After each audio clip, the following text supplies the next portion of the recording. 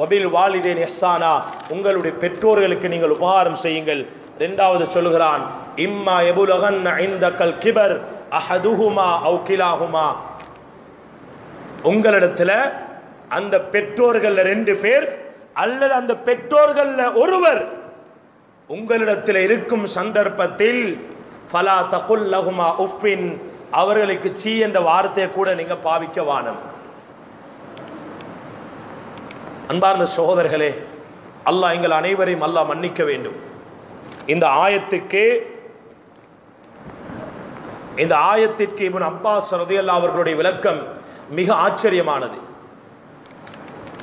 சஹாபாக்கள் கேட்டார்கள் இவன் அப்பாஸ் ரதியல்லா அவர்களிடத்தில் பெற்றோர்களை நோவினை செய்ய வேண்டும் வேண்டாம் அவர்களுக்கு சீ என்ற வார்த்தை பேச வேண்டாம் என்பதனுடைய அர்த்தம் என்ன? அதனுடைய யதார்த்தம் என்ன? சொன்னார்கள் இப்னு அப்பாஸ் அல்லாஹ் அன்பும் அவர்கள் நீங்களும் உங்களுடைய பெற்றோர்களும் ஒரு இடத்தில் அமர்ந்திருக்கிறீர்கள். உங்களிடத்திலே மேலால் ஒரு ஆடை இருக்கிறது. அந்த ஆடையிலே தூசி படிந்திருக்கிறது அந்த தூசியை அவர்களுடைய முன்னால் நீங்கள் என்ன செய்கிறீர்கள்? அடிக்கிறீர்கள். அது அவர்கள் உதறுகிறீர்கள். அந்த உதறியன் காரணமாக அந்த தூசி பெற்றோர்களுடைய முகத்தில் பட்டாலும் அதுவும் நோவினை தாங்குகிறார்கள் சுபஹான் அல்லா நாங்கள் வேண்டும் என்று செய்யவும் இல்லை. அவர்களை நோவினை செய்ய வேண்டும் என்ற எண்ணத்தோடு செய்யவும் இல்லை. எங்களுடைய ஆடையில் இருக்கிற தூசியை உதறுகிறோம். அந்த தூசி ஒரு தாயுடைய ஒரு தகப்பனுடைய மூஞ்சில் பட்டு விடுகிறது இபின் அப்பாஸ் ரலியல்லாஹு அவர்கள் சொல்கிறார்கள் இதுவும் மிகப்பெரிய பாவம் என்கிறார்கள். மிகப்பெரிய பாவம். அல்லாஹ் சுபானு தாலா சொல்கிறான். அல்லாஹ் சுபஹானு தாலா கியாமத்துடைய நாளையில் மூன்று பேர்களுடைய முகத்தை கூட பார்க்க மாட்டான். இன்னும் ஒரு ரிவாயத்தில் வருகிறது. மூன்று பேர்களுக்கு சொர்க்கம் ஹராமாகும். அதிலே என்று சொன்னார்கள் அல் ஆக்குலி பெற்றோர்களுக்கு நோவினை செய்யக்கூடியவர்களுக்கு அல்லாஹ் ஒரு நாளும் அவர்களை சொர்க்கத்திலே நுழைய வைக்க மாட்டான். நாங்கள் நினைப்போம் நாங்கள் பெற்றோர்களை நோவினை செய்யல பெற்றோர்களை அடிக்கல அவர்களை நல்லா கவனிக்கிறோம். ஆடை வாங்கி கொடுக்கிறோம். அவர்கள் நோய்வாய்ப்பட்டால் அவர்களுக்கு நாங்கள் தேவையான மருந்துகளை வாங்கி கொடுக்கிறோம். நாங்கள் சி என்ற வார்த்தையை கூட பாவிக்கல இதனால் நாங்கள் தப்பிட்டோம் என்று யாராலும் சொல்ல முடியாது. அன்பார்ந்த சகோதரர்களே அல்லாஹ்வின் நல்லடியார்களே ஒரு வசியத்தை உங்களுக்கு முன்னால் சொல்கிறேன். எத்தனையோ பெற்றோர்கள் அழுகிறார்கள். நாங்கள் உயிரோடு இருக்கின்ற பொழுது எங்களோட பிள்ளைகள் எல்லாம் அடிச்சு கொள்றாங்க பாருங்கள் எங்களோட பிள்ளைகள் எல்லாம் பிரிஞ்சு இருக்கிறாங்க பாருங்க. எங்களுடைய பிள்ளைகள் எல்லாம் மிகப்பெரிய விரோதிகளாக மாறி இருக்கிறார்கள் பாருங்கள். எந்த பிள்ளைக்கு நாங்கள் உறுதுணையாக இருப்பது? எந்த பிள்ளைகளோடு சேர்ந்து வாழ்வது என்பது எங்களுக்கு தெரியாமல் இருக்கிறது. ஒருவன் இன்னொருவருக்கு சூனியம் செய்கிறான். அவன் இவனை கொல்லுகிறான். அவன் இவனுக்கு அடிக்கிறான். பெற்றோர்கள் எல்லாம் நோவினை படுகின்ற அளவுக்கு பிள்ளைகள் ஒரு நாளும் நடந்து கொள்ளக்கூடாது. சொத்து வி- இருக்கலாம். ஏனைய விடயங்களாக இருக்கலாம். பெற்றோர்களுக்கு முன்னால் அவர்களை நோவினை அடைகின்ற அளவுக்கு நாங்கள் ஒரு நாளும் நடந்து கொள்ளக்கூடாது. அன்பார்ந்த சகோதரர்கள் அல்லாஹ்வின் நேரடியார்களே அடுத்த விடயமாக அல்லாஹ் சொல்கிறான் வலா தன்கருகுமா அவர்களை நீங்கள் விரட்ட வேண்டாம். அவர்களை நீங்கள் விரட்ட வேண்டாம். அன்புக்குரியவர்களே சிந்தித்து பாருங்கள். நாங்கள் ஐந்து பேர்களா இருந்திருக்கிறோம். ஆறு பேர்களா வீட்டில் இருந்திருக்கிறோம். பத்து பேர்களா வீட்டில் இருந்திருக்கிறோம். அந்த பத்து பிள்ளைகளையும் ஐந்து பிள்ளைகளையும் ஒரு தாய் ஒரு தந்தை இருந்து பராமரித்தார்கள். விட்டு கொடுக்கவில்லை. இந்த குழந்தை எங்களுக்கு பாரம் என்பது என்று எங்களை விற்கவும் இல்லை. நாங்கள் குறையாக பிறந்திருக்கிறோம் என்பதற்காக எங்களை உதாசீனப்படுத்தவும் இல்லை. நாங்கள் கருப்பாக பிறந்திருக்கிறோம் என்று எங்களை பிற்போடவும் இல்லை. எங்களை மதித்தார்கள் முத்தமிட்டார்கள் அன்பு செலுத்தினார்கள். அல்லாஹ் அக்பர். இன்று கொஞ்சம் பணம் வந்து விட்டால் கொஞ்சம் செல்வம் வந்து விட்டால் கொஞ்சம் படித்து விட்டால் கொஞ்சம் நாலஞ்சு விஷயம் தெரிந்து விட்டால் பெற்றோர்களுக்கு ஏசுகின்றோம் பெற்றோர்களை தூசணத்தால் ஏசுகின்றோம். நாங்கள் உங்களை எந்த குறையும் இல்லாமல் வைத்திருக்கிறோமே. உங்களுக்கு நிற்க முடியாவிட்டால் நானா வீட்டுக்கு போய்விடுங்கள் தம்பி வீட்டுக்கு போய்விடுங்கள் பெரும் கரைச்சலா இருக்குது பெரும் துன்பமா இருக்குது. சுபஹான் அல்லாஹ் அஞ்சு பிள்ளைகளும் உசுரோடு இருக்கிறார்கள். அஞ்சு பிள்ளைகளும் உயிரோடு இருக்கிறார்கள். பெற்றோர்கள் அனாதைகளாக மாறிவிட்டார்கள். பெற்றோர்களை பார்க்கறதுக்கு யாரும் இல்லை. கண்ணியமானவர்களே நாங்கள் சம்பாதித்திருக்கிறோம். பெரும் தொகையை சம்பாதித்திருக்கிறோம். லட்சாதிபதிகளாக இருக்கிறோம். கடைகளை வைத்திருக்கிறோம். வாகனங்களை வைத்திருக்கிறோம். அத்துணையுடைய செல் சொந்தக்காரர் எங்களுடைய பெற்றோர்கள் தான் எங்களுக்கு தெரியாமல் எங்களுடைய சொத்துக்களை பெற்றோர்கள் எடுத்துக்கொண்டாலும் எங்களுக்கு எதுவும் பேச முடியாது. அன்பார்ந்த சகோதரர்களே அல்லாஹ்வின் நிலடியார்களே ரசூலுல்லாஹி செல்லல்லா அலைஹி அவர்கள் கனவு காணுகிறார்கள் ஆயிஷா ரலியல்லாஹு அவர்கள் அறிவிக்கிறார்கள் அவர்கள் சொருக்கத்துக்கு போகிறார்கள். அங்கே ரசூலுல்லாஹி ஸல்லல்லாஹு அலைஹி வஸல்லம் சொன்னார்கள் ஃபஸமிஅத்து சௌத்த காரியின் நான் ஒரு காரியுடைய சத்தத்தை செவிமடுத்தேன். நான் அந்த காரியை செவிமடுத்தவுடன் நான் கேட்டேன் மலக்குமார்களிடத்தில் இவர் யாரப்பா? எனக்கு தெரிந்த ஒரு சஹாபியை போன்றிருக்கிறார். என்னோடு இருக்கிற ஒரு தோழரை போன்றிருக்கிறார். இந்த சஹாபியுடைய பேர் என்ன? சொன்னார்கள் மலக்குமார்கள் ஹா இப்னு நுஹ்மான் தான் அவர் குரான் ஓதிக்கொண்டிருக்கிறார். சொர்க்கத்தில் அவர் குரான் ஓதிக்கொண்டிருக்கிறார். யார்? ஹாரிஸ் இப்னு நுஅமான் ரலியல்லாஹு அவர்கள். கேட்டார்கள் சஹாபாக்கள் யா ரசூலல்லாஹ் ஹாரிஸ் இப்னு நுஹ்மானுக்கு என்ன நன்மை அதனால்? அவர் என்ன நன்மை செய்திருக்கிறார்? சொர்க்கத்திலே போய் குரான் ஓதுகின்ற சத்தம் அவருக்கு அல்லாஹ் கொடுத்திருக்கிறார் என்றால் அவர் செய்த என்ன அமல்?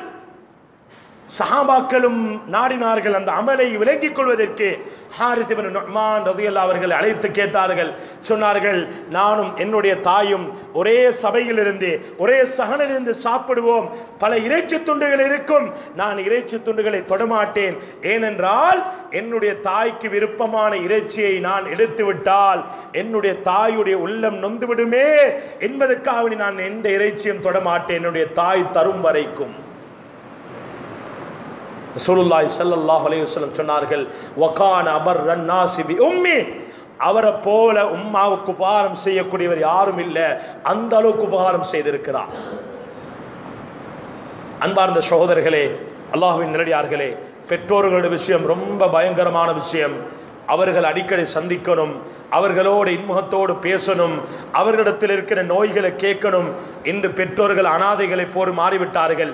நாங்கள் லட்சக்கணக்கில் கொடுக்கிறதால பெற்றோர்களுடைய உள்ளங்கள் மாறாது.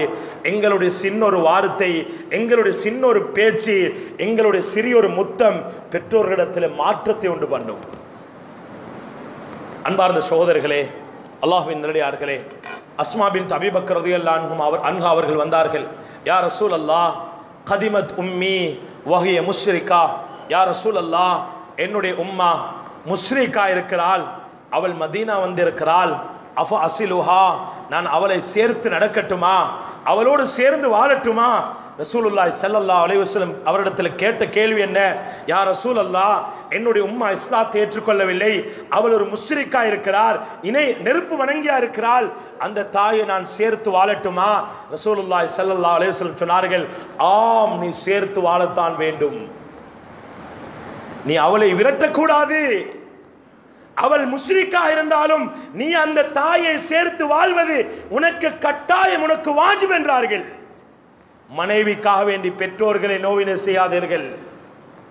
நண்பனுக்காக வேண்டி பெற்றோர்களை நோவினை செய்யாதீர்கள். உலகத்துடைய ஆசைக்காக பெற்றோர்களை நோயினை செய்யாதீர்கள்.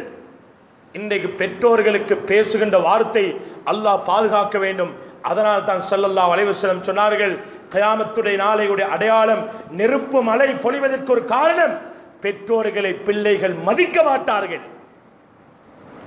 இன்றைக்கு சர்வ சாதாரணம் சர்வ சாதாரணமாகிவிட்டது பெற்றோர்களோடு பேசுகின்ற வார்த்தை அவர்களுக்கு கொடுக்கின்ற மரியாதை சுபஹான் அல்லாஹ் எங்களுடைய மனைவியை மதிக்கிறோம் பிள்ளைகளை மதிக்கிறோம் உறவினர்களை மதிக்கிறோம் நண்பர்களை மதிக்கிறோம்.